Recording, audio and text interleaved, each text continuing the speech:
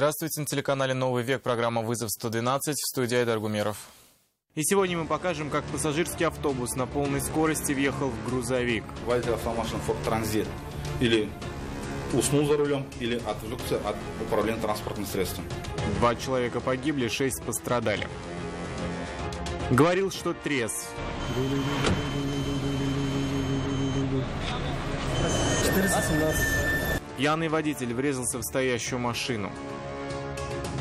И подготовка не помогла. Обманным путем заманил человека. Укравшего часы стоимостью 400 тысяч рублей задержали по горячим следам. Это не только прямо сейчас. Два человека погибли и еще шесть серьезно пострадали в результате страшной аварии. Трагедия произошла сегодня рано утром на 1115-м километре трассы М7 в Елабужском районе. Там пассажирский автобус «Форд Транзит», ехавший из Уфы в Казань, на полном ходу врезался в стоящий грузовик «Валдай». Все подробности у Нафиса Минязовой. 4 часа 44 минуты. Трасса М7, Елабужский район. Автобус с пассажирами влетел в стоящий грузовик на полной скорости. Водитель микроавтобуса погиб на месте. Основная сила удара пришлась именно на его сторону. Тело водителя позже доставали спасатели. Им пришлось с помощью гидравлического инструмента разрезать кузов. На месте происшествия погиб и пассажир Валдая. Серьезно пострадали пассажиры автобуса. В результате дорожно-транспортного происшествия еще пострадало 6 человек, которые были доставлены на Елабужскую районную центральную больницу для оказания медицинской помощи. В данный момент два человека находятся у нас на реанимационном отделении Елабужской районной центральной больницы. Также четыре человека в травмато- травматологическом отделении. Они ехали из Уфы в Казань. По предварительной версии, в произошедшем виноват водитель автобуса. Что именно произошло, сейчас выясняют автоинспекторы и следователи. Скорее всего, думаем, что водитель автомашины Ford Transit или уснул за рулем, или отвлекся от управления транспортным средством. Что же стало причиной трагедии, станет ясно только после отработки всех версий, проведения ряда экспертиз и окончания расследования.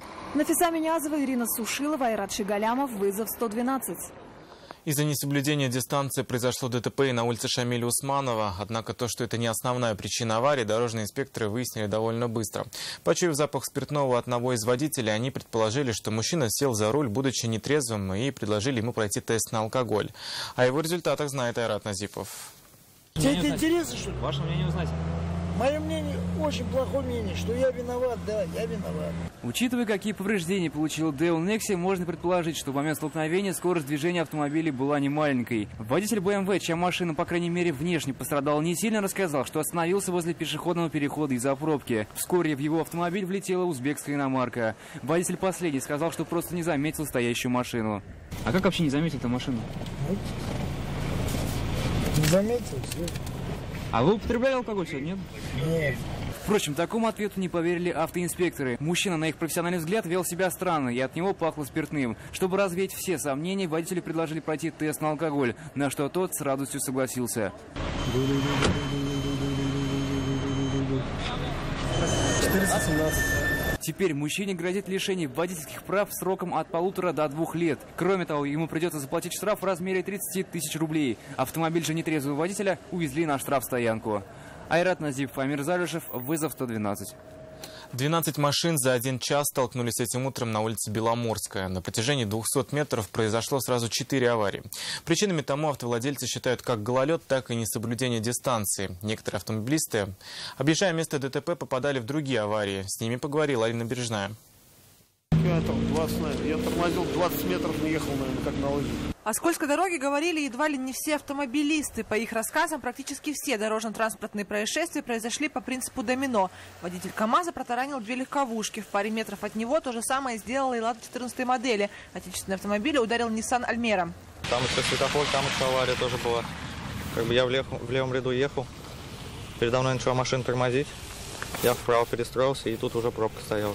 Как бы догнал. Я пытался вообще даже свалить сугроб, думал, хотя бы вообще машина никак то есть А чуть впереди столкнулись еще три машины. Одна из них впоследствии уехала на месте. Остались «Лада Калина» и ВАЗ-2109. 50 ехал, но тут притормаживать начали вот. И вот когда. А тут совсем стали и все, тупанул, а По той же причине автобус врезался сразу в две иномарки уже после светофора. Водитель снес «Шкоду Рапид», которую после удара откинула на «Форд Фокус». В тот момент перед легковушками только-только успел пройти пешеход. Я начал уже движение после пешеходов. Начал движение, вот видите, что я вперед уехал. И автобус заехал на него с такой скоростью, я не знаю. И вот его на меня отбросило. В результате многочисленных столкновений никто не пострадал. И хотя многие вероятные виновники сетуют на гололед, ответственными за аварию могут признать именно их. По причине несоблюдения дистанции и безопасной скорости. Алина Бережная, Рад Назипов, Амир Залюшев. Вызов 112. Серьезное столкновение произошло на пересечении улиц Карла Маркса и Пушкина. По предварительной версии, автоледи, управлявший Kia Пиканта, хотела развернуться на перекрестке. В этот момент водитель встречного Kia Rio ехал прямо. Почему произошла авария и кто в этом виноват, водители так и не разобрались, поэтому и комментировать произошедшее не стали. Удар был сильным, об этом говорят повреждения. Участники ДТП остались дожидаться госавтоинспекторов.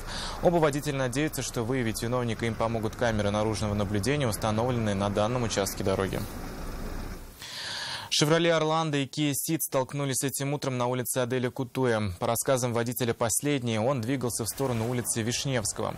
В этот момент со встречной полосы выехала «Шевроле». Иномарка поворачивала налево и пыталась заехать во двор. Маневр оказался крайне неудачным. Удар пришелся в правый бок автомобиля, в результате чего в салоне сработали боковые подушки безопасности. Серьезных травм никто из участников аварии не получил. Расставил сети для заманивания будущей жертвы мошенничества. В полицию обратился 31-летний мужчина, который рассказывал, что у него обманным путем похитили часы, которые он оценил в 400 тысяч рублей. Подозреваемого задержали, он как раз сдавал краденое в ломбард. Анна Гратнова выяснила, как ему удалось лишить владельца такой недешевой вещи. Обманным путем заманил человека, хотел с ним сделку, там, забрал у него часы и ушел. Свою вину 27-летний житель ближнего зарубежья отрицать не стал и во всем сознался. Его задержали по горячим следам, когда он сдавал часы в ломбард. Их ориентировочная стоимость 400 тысяч рублей.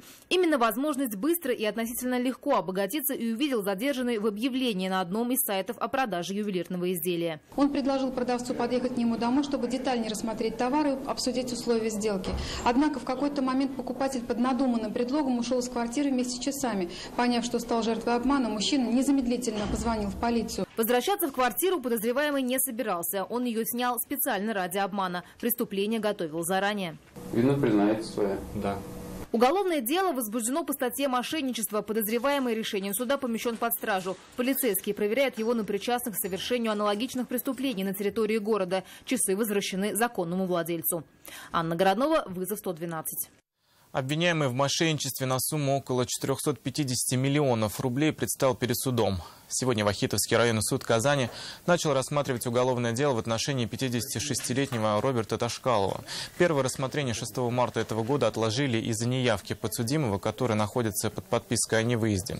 Он предоставил справку о болезни и заседание перенесли. Сегодня он явился в суд. По версии следствия, мужчина под предлогом получения займа на организацию производства композитных материалов похитил деньги двух инвестиционных компаний, а также обманул и физические лица.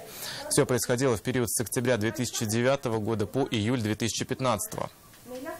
Являюсь генеральным директором ЗАО ЯМТ+, ЗАО ЯМТ, ЗАО «Нуран» и ООО «Нуран Пласт», действуя из корыстных побуждений путем обмана и злоупотребления доверием, похитил денежные средства ООО «Татнефтехим Инвест Холдинг», ООО «Химик», ОАО «Россельхозбанк», а также троих граждан. Как установили следователи, подсудимому под предлогом расширения бизнеса инвесторы выделяли деньги на строительство производственного комплекса. Однако на эти цели пошла лишь малая часть средств. Кроме того, согласно уголовному делу, обвиняемый взял кредиты и уговорил сделать то же самое сотрудников своей фирмы, обещая все погасить. Но обещание не, выпол не выполнил. 5 миллионов его подчиненные выплачивают самостоятельно. Сейчас ему инкриминируется преступление по статьям мошенничества и уклонения от исполнения обязанностей по репатриации денежных средств. Сегодня Сегодня подсудимым зачитали обвинительное заключение. И это все, о чем мы успели вам рассказать. Обо всех происшествиях вы можете сообщать нам по телефону 570 50 50 или на мобильный 8 98 69 112 112. Это можно сделать и в нашей группе ВКонтакте. Туда можно присылать и снятое вами видео. В студии был Эдар Гумеров. До встречи. И не бросайте вызов судьбе. Вдруг она его примет.